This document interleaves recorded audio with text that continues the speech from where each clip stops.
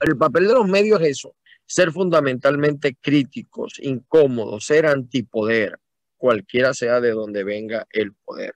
Y fíjense que les digo esto porque eh, le vuelven a sembrar a la gente la falsa apreciación de que una gira internacional va a encontrar soluciones para los venezolanos.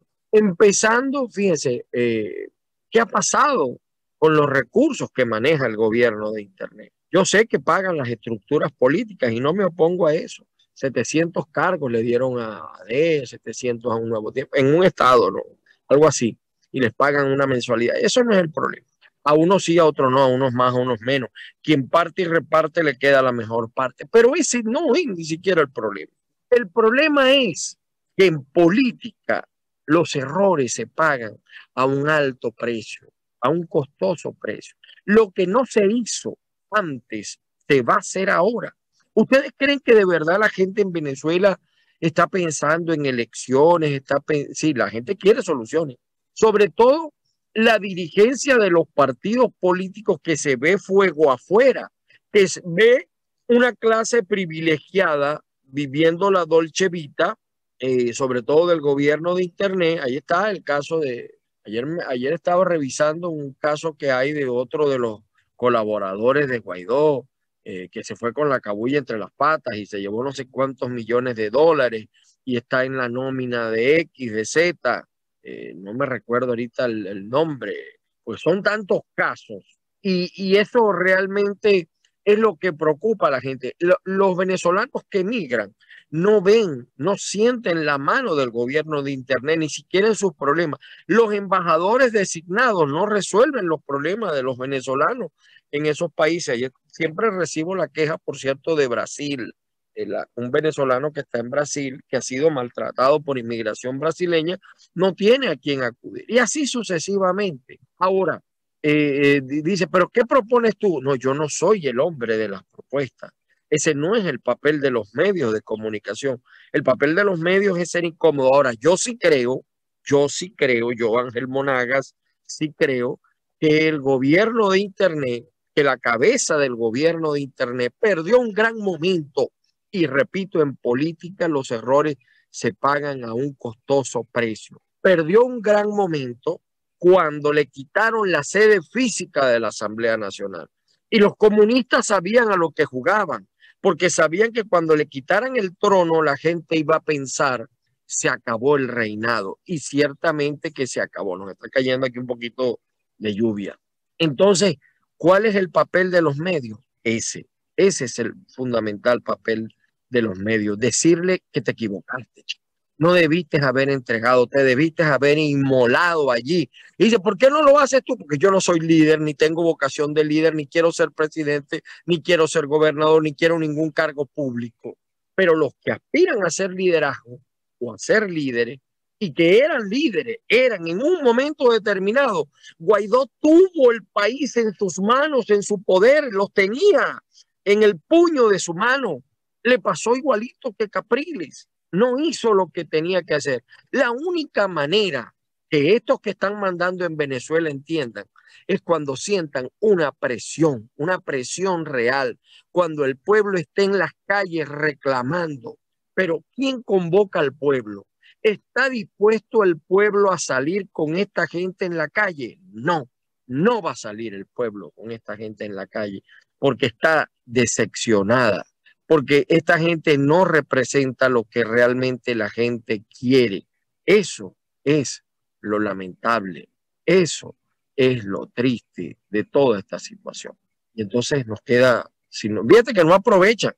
Ahí hicimos la denuncia de lo que está, cómo está el narcotráfico en el chavismo, y no ha salido nadie de la oposición a pedir una investigación, a pedir una aclaratoria, no lo hacen, no les interesa. Les interesa es convocar a elecciones y están, fíjense el riesgo que están corriendo, porque están convocando elecciones y le vuelven a vender a la gente que el, mire, si, si Manuel Rosales es gobernador, se resolvieron los problemas del Zulia. Mentira. Si eh, Américo de Gracia o Andrés Velázquez gobernador en Bolívar, se resolvieron los problemas de Bolívar. Mentira. Les colocan un paralelo, les colocan. Entonces los dirigentes me entonces, ¿qué hacemos?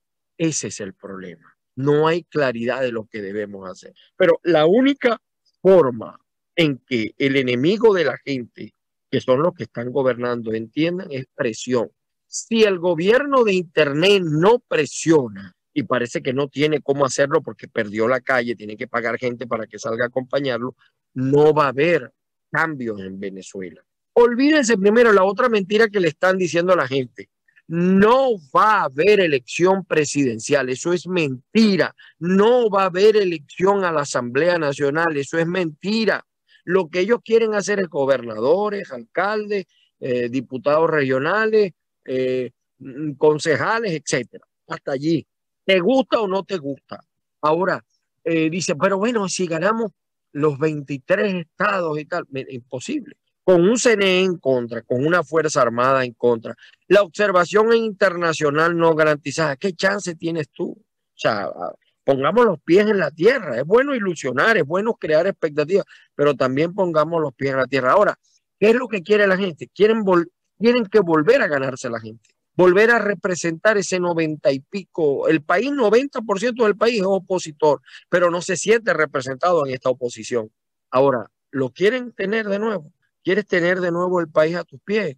Un Guaidó, saca al pueblo a la calle, con un par de féricas, saca al pueblo a la calle, salgan a la calle, reclamen el problema del agua que está gravísimo, reclamen el problema eléctrico que está gravísimo, reclamen el problema de la inflación de los alimentos, de la inseguridad de la gasolina, de las desigualdades que hay con el tema de la gasolina, de la corrupción, salgan. Pero es que el problema es que el que tiene rabo de paja no se acerca a la candela. Yo voy a seguir aquí criticando, hay muchos que no les gusta que uno le diga las verdades. No, primero tenemos que salir del chavismo. Así decíamos con Pérez, llegó Chávez yo no quiero salir de un gobierno malo para entrar en otro más malo, porque estos no han ganado y ya están metiéndole la mano al tesoro público, hermano. Imagínense ustedes en poder, no me quiero imaginar, no me quiero imaginar. Entonces, la salida del país está, vamos a elecciones, sí, vamos a elecciones. Cachete, yo creo que ya no tienen vuelta atrás. Rosales no se puede ya echar para atrás después del acto que hizo el sábado. Y muchos, eh, es más, corren el riesgo que la dirigencia media se les vaya con otro partido, igual Velázquez, Américo de Gracia, etcétera. Pero ¿en qué condiciones? Ahora, ¿quieren tener buenas condiciones? Hagan presión.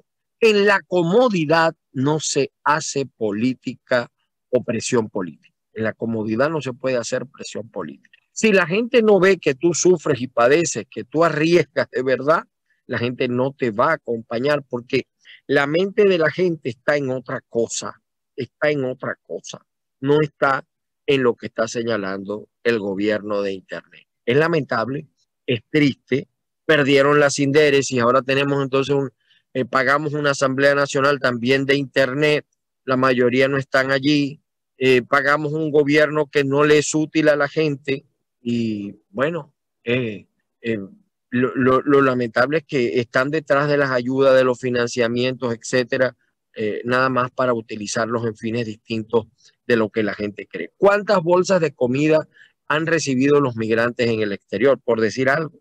¿Cuál es la ayuda que han recibido los migrantes en el exterior?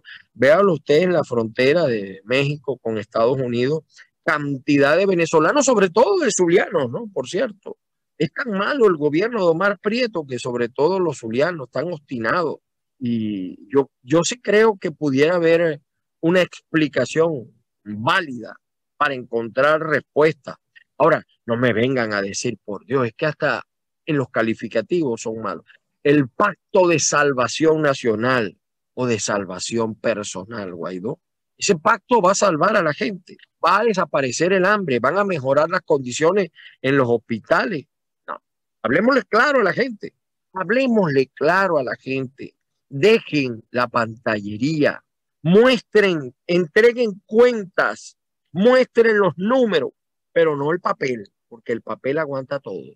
El papel aguanta todo. Den demostraciones, arriesguen, arriesguen físico. El cobarde en política no tiene chance.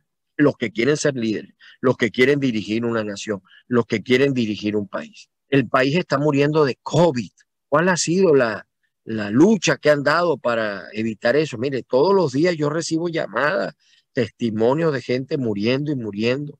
eh, en el Zulia, Omar Prieto acabó ahora también con el oxígeno, que son como las hordas de Atila, por donde pasan ni la hierba crece.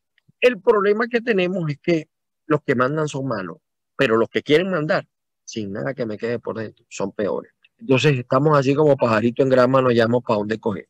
Ah, pero sí hay entonces una, yo sí creo que hay un, grupo de venezolanos distintos a los tradicionales que quieren asumir la conducción del país como el país se lo merece. Aprovechemos las circunstancias, el enfrentamiento que hay dentro del chavismo, eh, el sector radical en contra del otro sector, aprovechemos, porque en política eso vale. El enemigo de tu enemigo es tu amigo. Hay una máxima en política. Volvamos a leer el arte de la guerra de Sun Tzu. Es que parece ser que se olvidaron de lo, elemental en política. Y entonces tienen un rollo por los candidatos, por la mesa de la unidad. Bueno, ¿qué les cuento yo? Y entonces ahí van un grupo todavía a arrodillarse a Guaidó, eh, que decepcionan, partidos que supuestamente iban a sembrar, a, a, a, ser distintos. Entonces ahí están en Caracas esperando audiencia con el Pachá. Qué decepción, chico.